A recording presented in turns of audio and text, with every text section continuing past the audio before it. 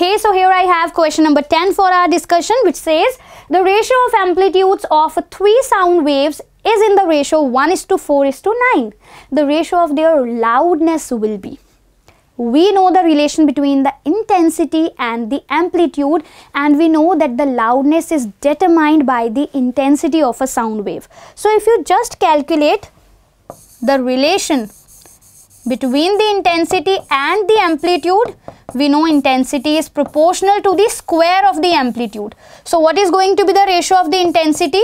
I1 is to I2 is to I3 will be equal to 1 is to 16 is to 81.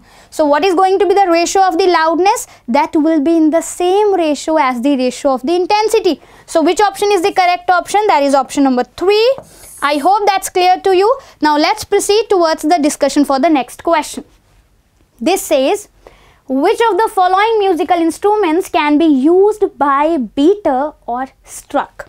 Out of the given four instruments except ektara which is a string instruments, the other can be used by beater or struck. So which is going to be the correct option? That is option number 4. So I can put this into the box. So the correct answer for this question is option number 4. So here we have question number 12 which says what should be the connection of terminals of battery and LED so that LED starts glowing. If you have a look onto LED, we know it has one greater leg and one shorter leg. The longer leg of LED is always connected to the positive terminal. So X should be connected to P because P point is connected to the positive terminal of the battery. So this is positive and this is negative.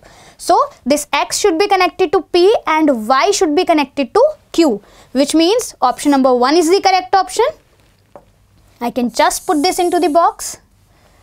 I hope this is clear to you. Now let's proceed toward the discussion for the next question.